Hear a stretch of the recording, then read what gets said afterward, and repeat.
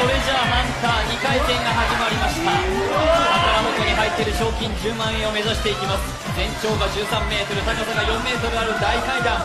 ずるずるの中を階段を両手両足を使って登っていきます。まずリードしているのは小峠。一番人気です。小峠がリードしていく。そして斎藤も現在2位第3位に小宮。そして狩野英孝も順調なスタート。ただ田中がやおっと！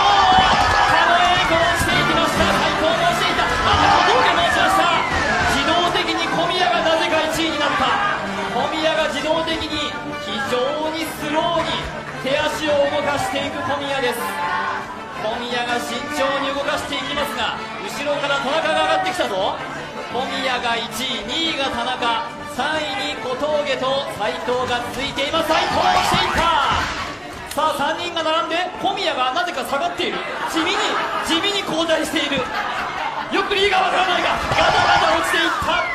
先頭が小峠に変わりました。先頭小峠2位田中3位が狩野英孝になっています。狩野英孝足をまたつかせていなくなっていきました小峠人気に応えるか。順調に中央突破。ただ鈴木奈々はこの辺りから7回ほど落下していった。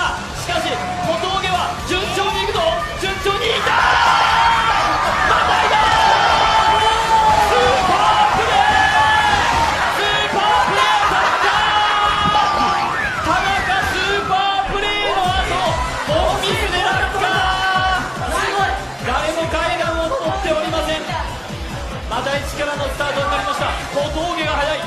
小峠が順調に上がっていく。ぬるぬるになれたか。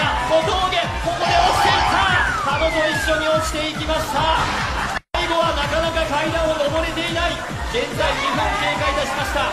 小宮がやはりスローに手足を動かして現在1位。斉藤がそれを追っています。